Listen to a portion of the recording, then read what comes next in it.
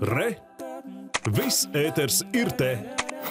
Ar jaunu spāru internetā klejo stāsti par cilvēku, kurš nav veicis analīzes, bet kuram it kā esot pozitīvs rezultāts. Vai par vēl kādu cilvēku, kurš miris no kādas citas kaitas, bet mediķi par nāves cēloni vēloties uzrādīt Covid-19, lai saņemtu naudas prēmiju. Un vienojošais aspekts visiem, visiem šiem stāstiem tajos nav pilnīgi nekādu norāžu, kas ļaut pārliecināties par informācijas patiesumu. Kādēļ cilvēki tic anonīmiem apgalvojumiem internetā, Par to kolēģis Girts Virbolis. Paldies, Jāni! Labvakar, skatītāji! Kā ierasts atbildu šo jautājumu, vispirms meklēsim ciparos.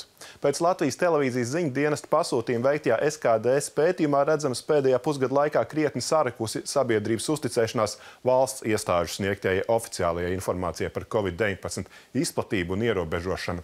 Vēl pavasarī oficiālajai informācijai uzticējās 63% respondentu, kas patiesībā bija ļoti labs rādītājs. Tolaik valdības teiktajā ieklausījās arī daudz no tiem cilvēkiem, kas ikdienā kritizēja Latvijā notiekošo.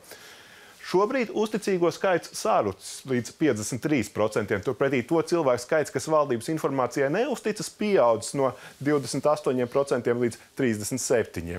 Ja skatāmies detalizētākus profilus, tad valdības komunikācijai visvairāk uzticas jaunieši vecumā no 18 līdz 24 gadiem, ģimenes ar latviešu sarunu valodu, publiskajā sektorā strādājošie, kā arī cilvēki ar augstāko izglītību.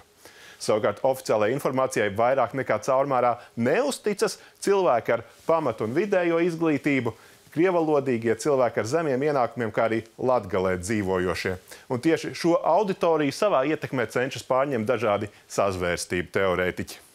Aptaujātie eksperti norāda, pirms teikties vainot internetu troļus, kas nozombējuši sabiedrību. Valdības locekļiem varbūt vajadzētu pašiem palūkoties uz savām kļūdām, jo iespējams ministri paši grāvuši savu uzticamību. Lūdzu, video!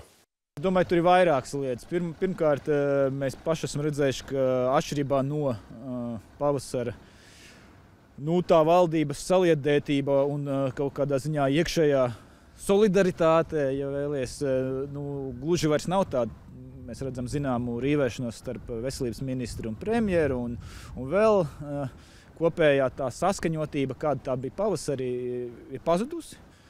Un tas varētu būt acīm redzami viens no faktoriem, bet, nu, protams, arī konteksts ir mainījies, jo šeit galu galā tomēr ir pilnīgi citi saslimstības rādītāji un arī līdz ar to acīm redzami, ka tā jutīguma pakāpe uz, uz valdības, eh, valdības padarīto un arī rīcību ir pilnīgi cita. Ir bijusi virkne epizožu, kuras nekādā ziņā nav sekmējušas šī uzticības līmeņa pieaugumu. Nu, kaut viens piemērs. Tas ir stāsts par Rīgas maratonu, kur, ja es pareizi sapratu no publiskās telpas, tad nu, tie eksperti epidemiologi jau neteica tādu kategorisku nē. Nu, it kā es sapratu, pat veselības ministre neiebilda un uzskatīja, ka šis maratons varētu notikt. Bet nu, tomēr valdība savā sēdē nolēma lēma, kad viņi tā teikti gudrāki par epidemiologiem un teica, ka nē, šim maratonam nebūtu. Tātad, rezumējot ekspertu teikto, ja valdība vēlas, lai sabiedrība uzticētos amatpersonu aicinājumiem krīzes laikā būt vienotiem un sekot epidemiologu rekomendācijām, tad ministriem vispirms pašiem vajadzētu savā darbā demonstrēt vienotību un lēmumos ņemt vērā ekspertu ieteikumus. Pretējā gadījumā viņi paši savu tribīni atdos sazvērstību teorētiķiem. Gan veselības ministrija, gan valsts policija pastāvīgi ikdienā novēro sociālos izplatītās ziņas, taču uzsāk kriminālu procesu un saukt ziņu izplatītājus pie atbildības var tikai tādos gadījumos, ja izplatītās dezinformācijas rezultātā ir traucēts sabiedriskais miers, kā arī iestāžu vai organizāciju darbs.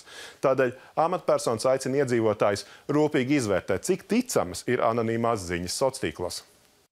Šāda veida informācija tai sabiedrības daļai, kas uh, nevēlas ticēt, diemžēl, tai realitātei, kādā mums šobrīd ir jādzīvo, iespējams, nu, dod kaut kādu tādu nelielu cerību, ka patiesībā ir labāk, ka, ka tas viss ir kaut kas izdomāts un nereāls. Un tas, ko mums rāda gan katras dienas saslimstības dati, gan tas, ko mums rāda slimnīcu dati par Covid gadījumiem, par Covid pacientiem slimnīcās, uh, diemžēl apliecina to, ka nu, šī skarbā realitāte mums ir ikdiena šobrīd. Un, un tādēļ tiešām aicinu ikvienu, ikvienu iedzīvotāju ļoti rūpīgi ievērot visus tos nosacījumus, kas ir epidemioloģiski pamatoti,